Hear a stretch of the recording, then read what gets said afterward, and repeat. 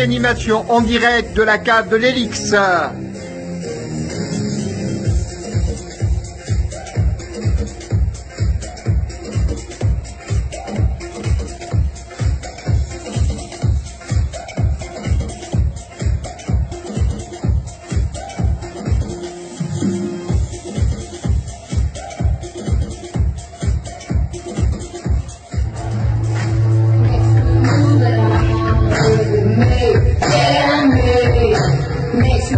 phenomenal.